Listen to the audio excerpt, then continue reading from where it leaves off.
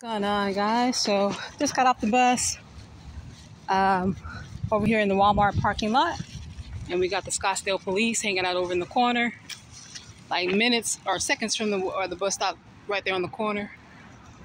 We got them over hanging out in the uh, cut there.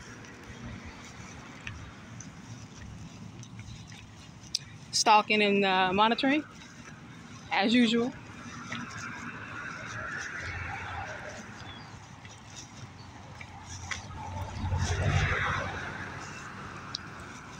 we're going to do something about this on Monday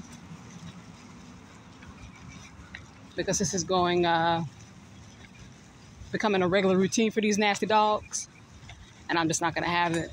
So, but like I said, getting off the bus and coming over to uh, Walmart, being tailed and followed by the police, the Scottsdale police, middle of the day.